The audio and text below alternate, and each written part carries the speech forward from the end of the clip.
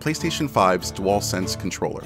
You can map several actions to swipes on the touchpad, like Navigation Assist, which immediately points your camera toward the objective, Spartan Rage, Quick Turns, Shield Strikes, and even high contrast color palettes.